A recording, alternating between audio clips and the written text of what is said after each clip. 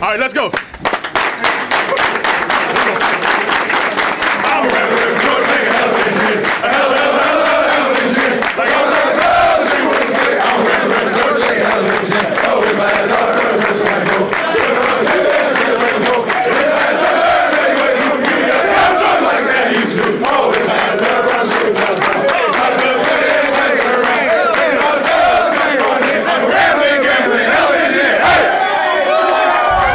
Your moments, highlights, and more on theacc.com.